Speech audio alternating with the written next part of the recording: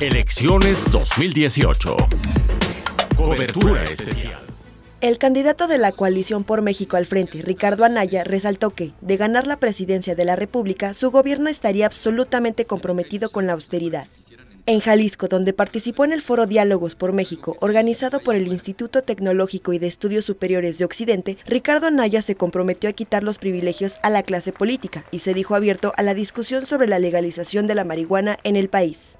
La candidata independiente Margarita Zavala señaló que incrementará el presupuesto destinado a la salud con el propósito de mejorar la atención en hospitales y el abasto de medicamentos. En un encuentro con simpatizantes en Morelos, aseguró que, de encabezar el gobierno de la República, sería una administración que comprenda, escuche y acompañe. Llamó a los ciudadanos a no conformarse con el candidato menos malo o menos corrupto.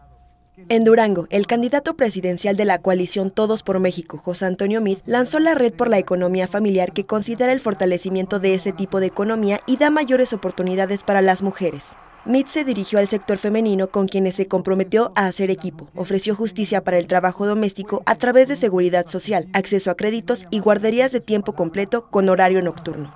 Andrés Manuel López Obrador, candidato presidencial de la coalición Juntos Haremos Historia en su gira por Coahuila, afirmó que de ser presidente de México llevará a cabo un cambio profundo en el país, arrancará de raíz la corrupción y fortalecerá el mercado interno.